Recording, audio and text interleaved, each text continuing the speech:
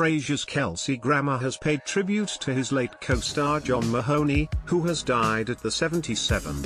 The screen and voice actor received two Primetime Emmy Award nominations and two Golden Globe nominations for his portrayal of Frasier Crane's father, Martin, in the sitcom.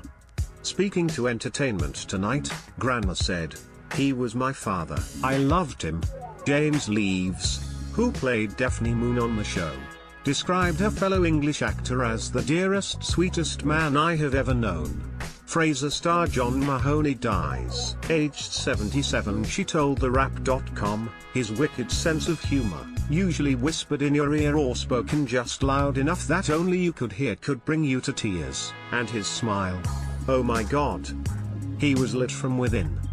How lucky I am to have had him in my life. I loved him so much and will miss him so terribly. A spokesperson for Mahoney confirmed that the veteran actor had passed away in Chicago on Sunday following his time in hospice care for a short illness.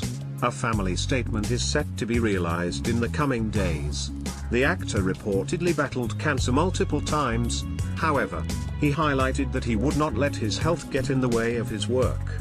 At the time he said, I refused to yield to it because I love what I'm doing so much. Frasier star John Mahoney dies aged 77 and I refuse to sit at home and feel sorry for myself. Instead, I just want to get out there and do another job.